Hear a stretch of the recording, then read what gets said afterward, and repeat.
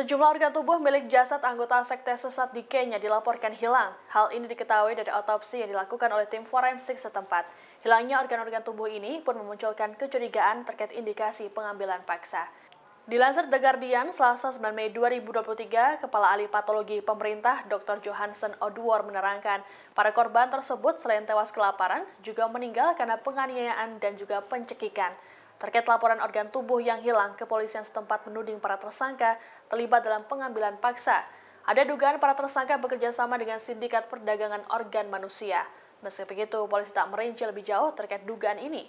Terkait dengan kasus kematian ratusan anggota sekte karena berpuasa selama berhari-hari tanpa makan, tokoh agama bernama Ezekiel Odero yang ditangkap disebut telah menerima transaksi uang tunai yang sangat besar.